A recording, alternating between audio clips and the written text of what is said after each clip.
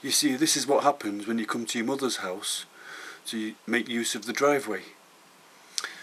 You get ropes into making IKEA cupboards and drawer sets because you've got nothing better to do. But never mind.